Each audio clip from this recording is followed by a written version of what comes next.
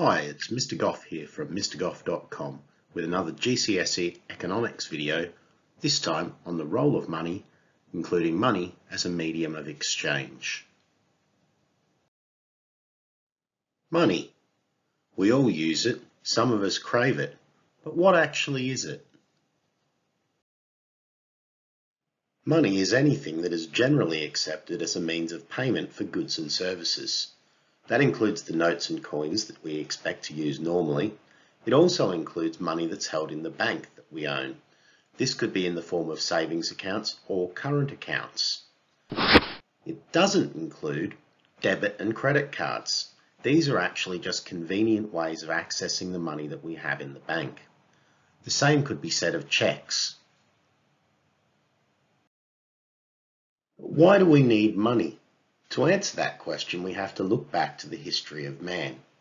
At some point, people realised that they could trade, or barter in other words, in order for both parties to receive a mutual benefit. As you can see from the illustration below, this eventually led to a problem. How do you trade items when they're not of equal value? This problem in a nutshell is the double coincidence of wants and needs. That is, each person involved in the transaction must want to get what the other person has and be willing to give away what the other person wants. The solution? Money. This would allow people to swap things that were not of equal value. Money is anything that is generally accepted as a means of payment for goods and services. In the early times, things like cowrie shells were used as money. Throughout time, a variety of things have been used as money. In the early days of Australian settlement, rum was frequently used as a form of currency, particularly on the black market.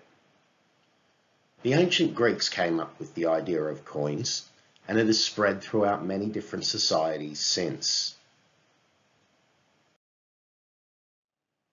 All of these forms of money have been used at one point as a medium of exchange.